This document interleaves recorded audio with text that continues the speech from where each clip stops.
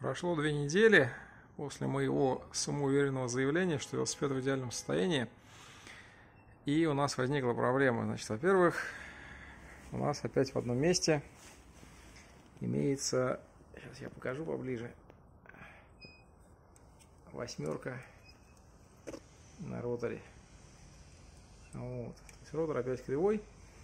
Опять его надо поправить. Ну это ладно. Проблема какая-то достаточно странная. Значит, смотрите, люфта колеса нет. То есть колесо не люфтит вообще. Поэтому втулку я, соответственно, перебирать не стал. Колесо крутится достаточно хорошо. Никаких закусов, никаких проблем нету. У нас есть проблема в том, что у нас внутри трещотки огромное количество песка. И это, наверное, слышно. Слышите, да? Как внутри трещотки хрустит песок. Вот этот вот гул говорит о том, что песочка там очень много. Вот. Но дело более странное. Без нагрузки, как бы звуков таких особо посторонних нет. А вот под нагрузкой, я сам сел, прокатился, на каждом обороте колеса в одном месте происходит щелчок.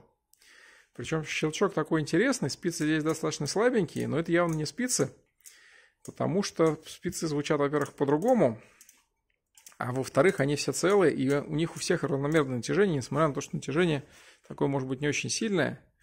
Вот. И катается девушка легкая по весу. Скорее всего, есть у меня подозрение, что здесь внутри лопнул шарик внутри втулки, но при этом она очень хорошо крутится, без нагрузки. Сейчас мы будем это проверять. То есть не уехал у нас далеко клиент, всего через две недели он вернулся. И, видимо, придется втулку перебирать. Итак, велосипеду 12 лет, он 2009 года, никогда он не обслуживался, звуков никаких нету. Втулочка крутится идеально. Небольшое искривление оси в пределах, скажем так, погрешности, это нормально. Тут буквально ну, полмиллиметра небольшое э, изгиб оси, но при этом ни закусываний, ни хрустов, ни люфтов, вообще ничего нету. То есть претензий ко втулке быть не должно. Значит, у нас где-то хрустят спицы. Потому что спицы, конечно, слабоватенькие. Но вот со спицами проблема другая. То, что не пирят закисшие, все это протягивать на одинарном ободе, как вы понимаете, не очень интересно. Может быть, у нас проблема с трещоткой, но трещотку перебирать тоже как бы. Там внутри песок. Там у нас песка много. Вот. Я надеюсь, что клиент отъедет до следующего года. Всю сейчас грязную осень. Сейчас у нас конец, начало ноября.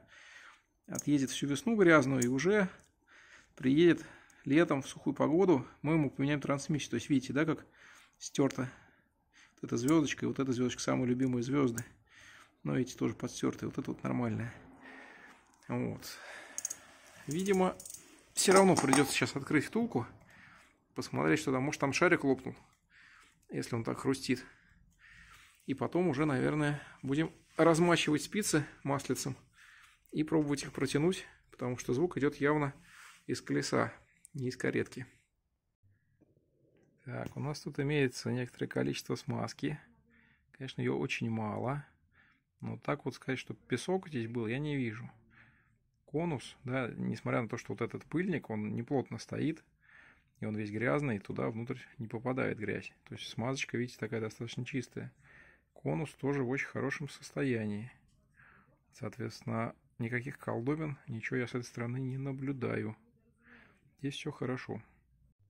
С этой стороны тоже есть смазка. Шарики вроде бы все целые. На конусе есть мелкие-мелкие-мелкие царапинки, но никаких ямок, которые могут приводить к хрусту, нет. Сейчас почищу шарики, почищу чашки, посмотрим, что там внутри. Все шарики в хорошем состоянии, дефектов нет никаких. И также чашечки. Есть выработка по краю. Но при этом на самой выработке нету никаких дефектов с обоих сторон. Чашки держатся крепко, то есть не люфтят, не болтаются. Я попробовал их поддеть отверткой. То есть проблем ни с чашками, ни с подшипниками, ни с конусами у нас нету. Есть идея, может быть, которая заключается в том, что я поставил новую покрышку и очень сильно накачал до трех атмосфер. До этого она была чуть более спущена. Скорее всего, все-таки это спицы похрустывают. Значит, надо будет протянуть. Так, возможно, я нашел спицу, которая может хрустеть. Видите, у нее шляпка села не до конца. Ну, блин, здесь столько грязи, и как бы она не движется в этом посадочном месте. Все остальные шляпки спиц сидят очень плотно.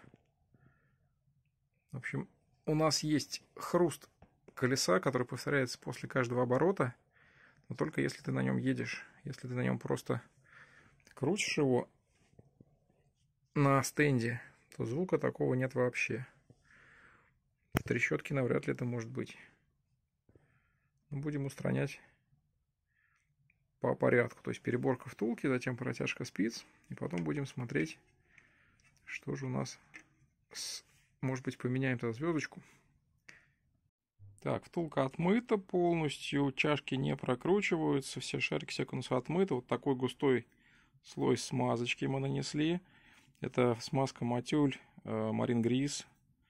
Очень хорошая смазка, не подвержена воде и не подвержена особенно соленой воде. И сейчас я все это буду собирать, и все будет хорошо работать.